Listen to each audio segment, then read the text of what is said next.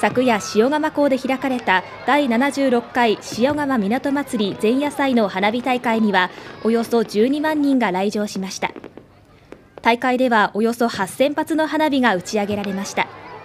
訪れた人たちは夜空に咲く色とりどりの大輪の花に目を輝かせていました。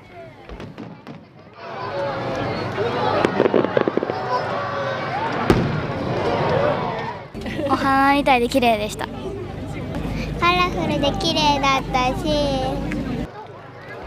塩釜港祭りは今日本祭りを迎えみこしを乗せた御座船などおよそ80隻の船が松島湾を巡るみこし海上渡御が繰り広げられます。